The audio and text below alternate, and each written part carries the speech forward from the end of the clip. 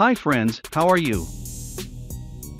In this video, I will show you how to calculate the cutback of a miter bend, easy and very fast in your mind.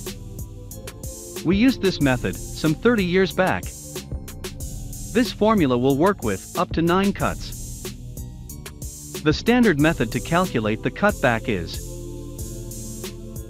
circumference into the wanted degree, divided by 360 into number of cuts into 2.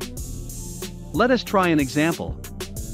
Calculate the cutback of a 4-inch pipe with 4 cuts. OD of a 4-inch pipe is 114 millimeters. Multiply the OD by 3.14 for the circumference. The bend angle is 90 degree. Number of cut is 4. Apply the formula for the cutback.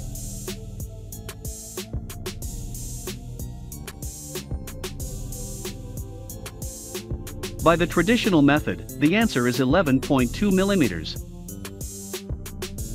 Let us try the quick method. See the fast calculation method now.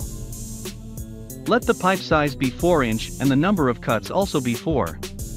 Remember, you can use any number of cuts up to 9.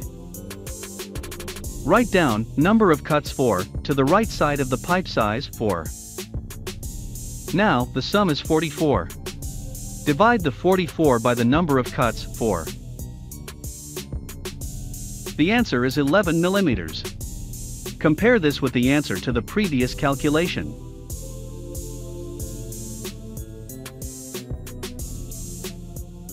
Let me show you more examples. Pipe size 6 inches, number of cuts 5. And the answer is 13.